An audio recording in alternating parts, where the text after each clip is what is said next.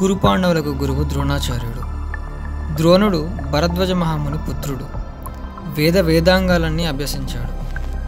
పాంచాల దేశపు రాజకుమారుడు ద్రుపదుడు ద్రోణుడు ఒకే దగ్గర విద్యాభ్యాసం చేశారు. అస్త్ర విద్యలు నేర్చుకున్నారు.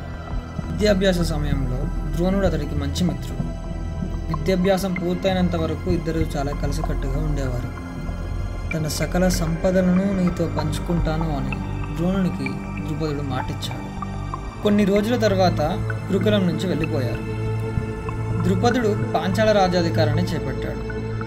ద్రోణుడు ఆశ్రమవాసం పూర్తి చేసుకున్న తర్వాత కృపాచార్యుడి చెల్లెలు కృపిని వివాహం చేసుకుంది. వివాహం జరిగిన కొన్ని రోజులకి ద్రోణుడికి కృపికి ఒక కుమారుడు జన్మించాడు. అతనే అశ్వత్థామ. ద్రోణాచార్యుడు ధనుర్విద్యలో ఆయన ఆయనే తన తండ్రి భరద్వజ మహర్షి దగ్గర వేద వేదాంగాలు నేర్చుకున్నాడు. అయితే దారిద్ర్యం తీరే దారి మాత్రం ద్రోణుడికి కనిపించలేదు. అప్పుడు తన చిన్ననాటి మిత్రుడు ద్రుపదుడు తనకు గుర్తొచ్చాడు. దీంతో పాంచాల రాజ్యానికి వెళ్ళి ద్రుపదుడిని కలిసి ఇచ్చిన మాటను గుర్తు చేసి సహాయం చేయమన్నాడు. ద్రుపదుడు ఎవరో తెలియనట్టుగా వ్యవహరించి అవమానించాడు. ద్రోణుడిని సింహద్వారం దగ్గర అడ్డుకొని గెంటేశాడు. ఆ సంఘటనతో ద్రుపదుడిపై ద్రోణుడికి పట్టరాని కోపం వచ్చింది. ఎలాగైనా ద్రుపదుడి పైన ప్రతీకారం తీర్చుకోవాలి అని అక్కడి నుంచి బాధతో వెళ్ళిపోతాడు.